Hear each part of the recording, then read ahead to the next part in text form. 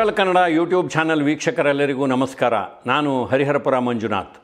Cinema ಸ್ವಾರಸ್ಯಗಳು ಸರಣಿಯಲ್ಲಿ Mysuru elephant M P Shankar, ಶೀರ್ಷಿಕೆಯ ಮುಂದುವರಿದ ಭಾಗ ಈಗ ನಿಮ್ಮ ಮುಂದೆ.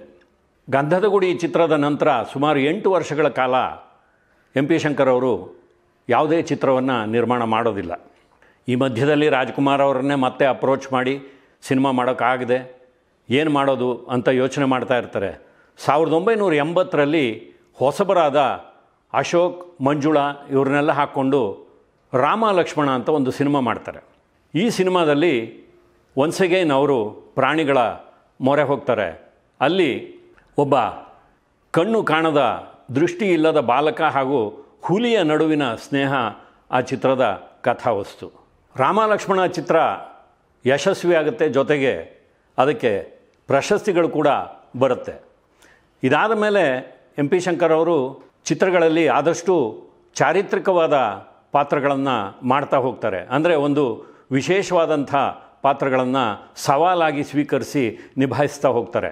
ಕನ್ನಡ ಚಿತ್ರರಂಗದ ಒಬ್ಬ ಹೆಸರಾಂತ ನಿರ್ದೇಶಕರು ಸಿದ್ಧಲಿಂಗಯ್ಯನವರು.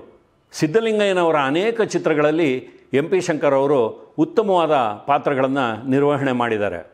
ಬಂಗಾರದ ಮನುಷ್ಯ ಚಿತ್ರದ ಮುನಿಯನ ಪಾತ್ರ ದೂರದ ಬೆಟ್ಟ, ಚಿತ್ರದ ಖಳನಾಯಕನ ಪಾತ್ರ, ಇವೆಲ್ಲ ಕನ್ನಡಿಗರಿಗೆ ಪರಿಚಿತವಾಗಿರೋದೆ. ಇದರ ಜೊತೆಯಲ್ಲಿ ಸಿದ್ಧಲಿಂಗಯ್ಯನವರು ಭೂಲೋಕದಲ್ಲಿ ಯಮರಾಜ ಚಿತ್ರದಲ್ಲಿ ಎಂ ಪಿ ಶಂಕರ್ ಅವರಿಂದ ಯಮರಾಜನ ಪಾತ್ರವನ್ನು ಮಾಡಿಸ್ತಾರೆ. ಅಷ್ಟೇ ಅಲ್ಲ, ನಾರದ ವಿಜಯ ಚಿತ್ರದಲ್ಲಿ ಒಬ್ಬ ಕಾಮಿಡಿ ಸಿ ಐ ಡಿಯ ಪಾತ್ರವನ್ನು ಮಾಡಿಸ್ತಾರೆ. ಈ ಚಿತ್ರಗಳ ಮೂಲಕ ತಾವು ಕೇವಲ ಖಳನಟರಷ್ಟೇ ಅಲ್ಲ ಹಾಸ್ಯ ಪಾತ್ರಗಳನ್ನು ಕೂಡ ನಿಭಾಯಿಸಬಲ್ಲೆ ಎನ್ನುವುದನ್ನು ಎಂ ಪಿ ಶಂಕರ್ ಅವರು ಸಾಬೀತುಪಡಿಸ್ತಾರೆ. ಇನ್ನು ಸಿದ್ಧಲಿಂಗಯ್ಯನವರ ನಿರ್ದೇಶನದ ಭೂತಯ್ಯನ ಮಗ ಅಯ್ಯು ಚಿತ್ರದ ಭೂತಯ್ಯನ ಪಾತ್ರದ ಬಗ್ಗೆ ಕನ್ನಡಿಗರಿಗೆ ಯಾರೂ ಹೇಳಬೇಕಾಗೇ ಇಲ್ಲ. ನೋಡಿ, ಮೈಸೂರಿನಲ್ಲಿ ಎಂ ಪಿ ಶಂಕರ್ ಅವರ ಮನೆ ಇತ್ತಲ್ಲ, ಅದರ ಹತ್ತಿರದ ಸರ್ಕಲ್ಲಿಗೆ ಬೇರೆ ಏನೋ ಹೆಸರಿತ್ತಂತೆ, ಆದರೆ ಎಲ್ಲರೂ ಅದನ್ನು ಭೂತಯ್ಯನ ಸರ್ಕಲ್ ಭೂತಯ್ಯನ ಸರ್ಕಲ್ ಅಂತಲೇ ಕರಿತಾ ಇದ್ರಂತೆ. ಕೆಲವು ಸಾರಿ ಈ ಜನಗಳು ಕರೆಯೋದ್ರಿಂದ ಎಂ ಪಿ ಶಂಕರ್ ಅವರಿಗೆ ಒಂದು ರೀತಿ ಇರುಸು ಮುರುಸಾಗ್ತಾ ಇತ್ತಂತೆ. ಯಾಕೆ ಹಾಕಿ ಕರಿತೀರಿ ಅಂತ? ಆದರೆ ಜನ ಅಲ್ಲಿ ಭೂತಯ್ಯನಲ್ಲಿ ಇದ್ದಂಥ ಒಂದು ಕ್ರೌರ್ಯ, ಆ ಜಿಪುಣತನ, ಇದನ್ನೆಲ್ಲ ಎಂ ಪಿ ಶಂಕರ್ ಅವರಲ್ಲಿ ನಾವು ನೋಡೋದಕ್ಕಾಗಲ್ಲ. ಆದರೆ ಆ ಪಾತ್ರವನ್ನು ಅವರು ಎಷ್ಟು ಸಮರ್ಥವಾಗಿ ನಿರ್ವಹಣೆ ಮಾಡಿದ್ದಾರೆ ಅನ್ನೋದಕ್ಕೆ ಅವರಿಗೆ ಭೂತಯ್ಯ ಅನ್ನೋ ಒಂದು ಅಡ್ಡ ಹೆಸರನ್ನು ಇಟ್ಟಿದ್ದರು ತಮ್ಮ ವೃತ್ತಿ ಜೀವನಕ್ಕೆ ಇಷ್ಟೆಲ್ಲ ತಿರುವುಗಳನ್ನು ಕೊಟ್ಟಂಥ ಸಿದ್ಧಲಿಂಗಯ್ಯನವರಿಂದ ಒಂದು ಸಿನಿಮಾ ಮಾಡಿಸ್ಬೇಕು ಅಂತ ಎಂ ಪಿ ಶಂಕರ್ ಅವರಿಗೆ ತುಂಬ ಆಸೆ ಇತ್ತು.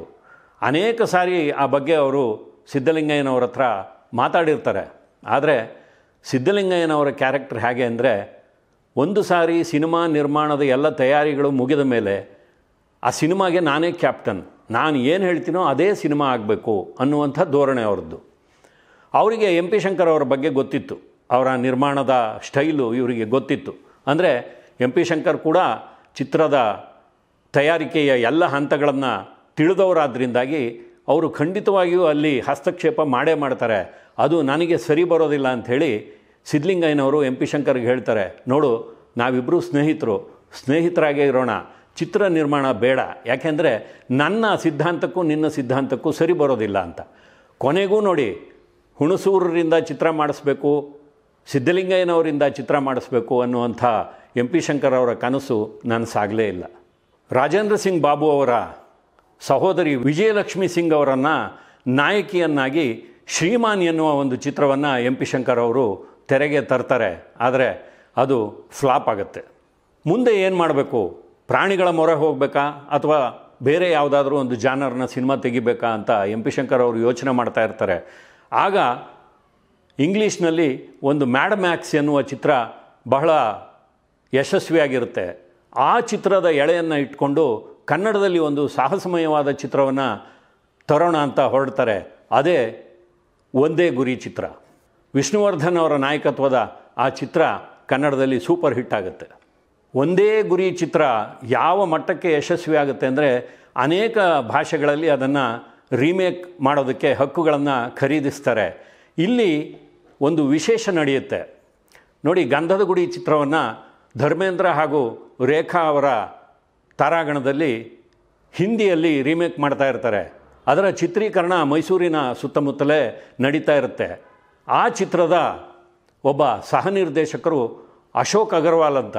ಅವರು ಎಂ ಪಿ ಶಂಕರ್ ಅವರಿಗೆ ಪರಿಚಯ ಆಗ್ತಾರೆ. ಪರಿಚಯ ಸ್ನೇಹಕ್ಕೆ ತಿರುಗುತ್ತೆ. ಆಗ ಅವರು ಹೇಳ್ತಾರೆ, ನಾನು ಅಮಿತಾಬ್ ಬಚ್ಚನ್ ಇಬ್ಬರು ಒಟ್ಟಿಗೆ ವ್ಯಾಸಂಗ ಮಾಡಿರುವಂಥವರು. ನಾನು ನಿಮಗೆ ಅಮಿತಾಬ್ ಬಚ್ಚನ್ ಅವರ ಕಾಲ್ ಶೀಟ್ ಕೊಡಿಸ್ತೀನಿ. ನೀವು ಈ ಒಂದೇ ಗುರಿ ಚಿತ್ರವನ್ನು ಹಿಂದಿಯಲ್ಲಿ ಮಾಡಿ ಅಂತ ಹೇಳ್ತಾರೆ. ಎಂ ಪಿ ಶಂಕರ್ ಅವರು ಬಹಳ ಥ್ರಿಲ್ ಆಗ್ತಾರೆ. ಯಾಕೆಂದರೆ ಹಿಂದಿಯಲ್ಲಿ ಒಂದು ಚಿತ್ರ ನಿರ್ಮಾಣ ಮಾಡೋದು, ಅದು ಅಮಿತಾಬ್ ಬಚ್ಚನ್ ಅವರನ್ನು ನಾಯಕರನ್ನಾಗಿಸ್ಕೊಂಡು ಅಂತ ಹೇಳಿ ಬಹಳ ಥ್ರಿಲ್ಲಾಗಿ ಅದರ ಮಾತುಕತೆ ಎಲ್ಲ ನಡೆಯುತ್ತೆ. ಆದರೆ ಕನ್ನಡದವರೇ ಆದ ಯಾವುದೋ ಒಬ್ಬ ನಿರ್ಮಾಪಕರು ಹಿಂದಿಯಲ್ಲಿ ಅಮಿತಾಬ್ ಬಚ್ಚನ್ ಅವರ ಸಂಪರ್ಕದಲ್ಲಿ ಇದ್ದವರು ಇಲ್ಲ ಸಲ್ಲದ ವಿಚಾರಗಳನ್ನು ಹೇಳಿ ಎಂ ಪಿ ಶಂಕರ್ ಅವರು ಆ ಚಿತ್ರ ಮಾಡುವ ಅವಕಾಶ ಕೈ ತಪ್ಪಿ ಹೋಗುತ್ತೆ. ಒಂದೇ ಗುರಿ ಚಿತ್ರದ ನಂತರ ಎಂ ಪಿ ಶಂಕರ್ ಅವರು ಟೈಗರ್ ಪ್ರಭಾಕರ್ ಅವರನ್ನು ಟಾರ್ಜಾನ್ ಮಾದರಿಯ ಒಂದು ಪಾತ್ರದಲ್ಲಿ ಹಾಕ್ಕೊಂಡು ಕಾಡಿನ ರಾಜ ಚಿತ್ರವನ್ನು ತೆಗಿತಾರೆ. ಅದು ಸೂಪರ್ ಹಿಟ್ ಆಗುತ್ತೆ. ಅದಾದ ಮೇಲೆ ಅಂಬರೀಷ್ ಅವರನ್ನು ಹಾಕ್ಕೊಂಡು ಮೈಸೂರಿನ ಮೃಗಾಲಯದ ಸುತ್ತ ಹೆಣದಂಥ ಒಂದು ರೋಚಕವಾದ ಕಥೆಯನ್ನು ಮೃಗಾಲಯ ಎನ್ನುವ ಹೆಸರಿನಲ್ಲೇ ಸಿನಿಮಾ ಮಾಡೋದಕ್ಕೆ ಹೊರಡ್ತಾರೆ. ಆಗ ಅನೇಕರು ಹೇಳ್ತಾರೆ, ಇದೊಂದು ಡಾಕ್ಯುಮೆಂಟ್ರಿ ಆಗುತ್ತೆ ಅಷ್ಟೇ, ಸಿನಿಮಾ ಆಗೋದಿಲ್ಲ ಅಂತ. ಆದರೆ ಎಂ ಪಿ ಶಂಕರ್ ಅವರಿಗೆ ಗೊತ್ತಿರುತ್ತೆ ತಾವು ಮಾಡೋಕ್ಕೆ ಹೊರಟಿರೋದು ಏನು ಅಂತ. ಮೃಗಾಲಯ ಚಿತ್ರ ಕೂಡ ಅದ್ಭುತವಾದ ಯಶಸ್ಸನ್ನು ಕಾಣುತ್ತೆ. ಇದಾದ ಮೇಲೆ ಎಂ ಪಿ ಶಂಕರ್ ಅವರ ಚಿತ್ರ ಜೀವನದ ಒಂದು ಬೀಳು ಎನ್ನುವ ಕಾಲ ಇದೆಯಲ್ಲ, ಅದು ಸ್ಟಾರ್ಟ್ ಆಗುತ್ತೆ. ವಿಜಯ ಖಡ್ಗ, ಕೆಂಪು ಸೂರ್ಯ ರವಿಚಂದ್ರನ್ ಅವರು ನಾಯಕರಾಗಿದ್ದ ನಾನೇ ರಾಜ, ಹೀಗೆ ಮೂರು ಮೂರು ಚಿತ್ರಗಳನ್ನು ಎಂ ಪಿ ಶಂಕರ್ ಅವರು ನಿರ್ಮಾಣ ಮಾಡ್ತಾರೆ. ಯಾವ ಚಿತ್ರವೂ ಅವರನ್ನು ಕೈ ಹಿಡಿಯೋದಿಲ್ಲ. ಅದೇ ದಿನಗಳಲ್ಲಿ ರಾಘವೇಂದ್ರ ರಾಜ್ಕುಮಾರ್ ಹಾಗೂ ಮಾಲಾಶ್ರೀ ಅವರ ಅಭಿನಯದ ನಂಜುಂಡಿ ಕಲ್ಯಾಣ ಚಿತ್ರ ಕರ್ನಾಟಕದಾದ್ಯಂತ ಭರ್ಜರಿ ಯಶಸ್ವಿಯಾಗಿರುತ್ತೆ. ಮಾಲಾಶ್ರೀ ಅವರ ಒಂದು call sheet M P Shankar ಅವರ ಹತ್ರ ಇರುತ್ತೆ. ಎಂ ಪಿ ಶಂಕರ್ ಅವರು ಮಾಲಾಶ್ರೀ ಅವರನ್ನು ನಾಯಕಿಯನ್ನಾಗಿ ಹಾಕ್ಕೊಂಡು ತಮ್ಮ ಪುತ್ರ ವಿರೂಪಾಕ್ಷನನ್ನು ಚಿತ್ರರಂಗಕ್ಕೆ ಪರಿಚಯಿಸಬೇಕು ಅಂತ ಹೇಳಿ ಚಿ ಉದಯಶಂಕರ್ ಅವರ ಹತ್ರ ಹೋಗಿ ಕಥೆಯ ಒಂದು ಎಳೆಯನ್ನು ಹೇಳ್ತಾರೆ. ಉದಯಶಂಕರ್ ಅವರು ಯಥಾ ಪ್ರಕಾರ ಕಥೆಯನ್ನು ಸಿದ್ಧ ಮಾಡ್ತಾರೆ. ಆದರೆ ಎಂ ಪಿ ಶಂಕರ್ ಅವರು ತಮ್ಮ ಮಗನನ್ನು ಈ ಚಿತ್ರದಲ್ಲಿ ಪರಿಚಯಿಸ್ತೀನಿ ಅನ್ನುವ ಉದ್ದೇಶವಿದೆ ಅನ್ನೋದನ್ನು ಹೇಳಿರೋದಿಲ್ಲ. ಆಗ ಒಂದು ಘಟನೆ ನಡೆಯುತ್ತೆ. ಉದಯ್ ಶಂಕರ್ ಅವರು ತಮ್ಮ ಪುತ್ರ ಗುರುದತ್ ಅವರನ್ನು ಚಿತ್ರರಂಗಕ್ಕೆ ಪರಿಚಯಿಸಬೇಕು ಅಂತ ಇರ್ತಾರೆ. ಎಂ ಪಿ ಶಂಕರ್ ಜೊತೆಯಲ್ಲಿ ಉದಯ್ ಶಂಕರ್ ಅವರಿಗೆ ಬಹಳ ಆತ್ಮೀಯವಾದ ಸ್ನೇಹ ಇದ್ದಿದ್ದರಿಂದಾಗಿ ಅವರೊಬ್ಬ ನಿರ್ಮಾಪಕರಾದ್ದರಿಂದಾಗಿ ಉದಯ್ ಶಂಕರ್ ಅವರು ಕೇಳ್ತಾರೆ, ಈ ಚಿತ್ರದಲ್ಲಿ ನನ್ನ ಮಗನನ್ನು ನಾಯಕನನ್ನಾಗಿ ಮಾಡೋದಕ್ಕೆ ಸಾಧ್ಯವೇ ಅಂತ. ಎಂ ಪಿ ಶಂಕರ್ ಅವರು ಚಿ ಉದಯ್ ಶಂಕರ್ ಅವರ ಮೇಲಿನ ಒಂದು ಗೌರವದಿಂದಾಗಿ, ಸ್ನೇಹಕ್ಕೆ ಬೆಲೆ ಕೊಟ್ಟು ತಮ್ಮ ಮಗನ ವಿಚಾರವನ್ನು ಹೇಳದೆ ಗುರುದತ್ ಅವರನ್ನು ನಾಯಕನನ್ನಾಗಿ ಮಾಡಿ ಮಾಲಾಶ್ರೀ ಅವರನ್ನು ನಾಯಕಿಯನ್ನಾಗಿ ಹಾಕ್ಕೊಂಡು ಹಳ್ಳಿ ರಂಬೆ ಬೆಳ್ಳಿ ಗೊಂಬೆ ಅಂತ ಒಂದು ಸಿನಿಮಾವನ್ನು ಮಾಡ್ತಾರೆ. ಆದರೆ ಸಿನಿಮಾ ಯಶಸ್ಸು ಕಾಣೋದಿಲ್ಲ. ಇದಾದ ಮೇಲೆ ಗಂಧದ ಗುಡಿ ಭಾಗ ಎರಡು ಹಾಗೂ ದ್ವಾರಕೀಶ್ ಅವರ ಒಂದು ಮಾತಿನಿಂದಾಗಿ ಗಿಡ್ಡು ದಾದ ಎನ್ನುವ ಎರಡು ಸಿನಿಮಾಗಳನ್ನು ಎಂ ಪಿ ಶಂಕರ್ ಅವರು ನಿರ್ಮಾಣ ಮಾಡ್ತಾರೆ. ಗಂಧದ ಗುಡಿ ಭಾಗ ಎರಡು ಸ್ವಲ್ಪ ಮಟ್ಟಿನ ಯಶಸ್ಸು ಕಾಣುತ್ತೆ, ಆದರೆ ಗಿಡ್ಡುದಾದ ಪೂರ್ತಿಯಾಗಿ ಫ್ಲಾಪ್ ಆಗುತ್ತೆ. ನೋಡಿ, ಈ ಬಂದೂಕು ಹಾಗೂ ರಿವಾಲ್ವರ್, ಇವು ಎಂ ಪಿ ಶಂಕರ್ ಅವರ ಜೀವನದಲ್ಲಿ ಒಂದು ರೀತಿಯ ವಿಲನ್ಗಳಾಗಿ ಕಾಡಿದಂಥ ವಸ್ತುಗಳು. ಬಂದೂಕಿನ ಸಮಾಚಾರ ನಿಮಗೆಲ್ಲ ಗೊತ್ತೇ ಇದೆ, ಗಂಧದ ಗುಡಿ ಚಿತ್ರದಲ್ಲಿ ಆದಂಥ ಒಂದು ವಿವಾದ. ಇನ್ನು ಎಂ ಪಿ ಶಂಕರ್ ಅವರದ್ದೇ ಒಂದು ರಿವಾಲ್ವರ್ ಇರುತ್ತೆ.